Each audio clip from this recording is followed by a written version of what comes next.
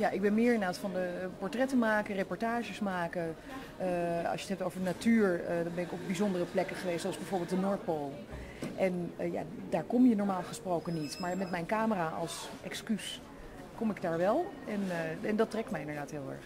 Het is wel een heel raar bruggetje van de Noordpool naar Amstelveen. Maar heb je een speciale band met deze gemeente?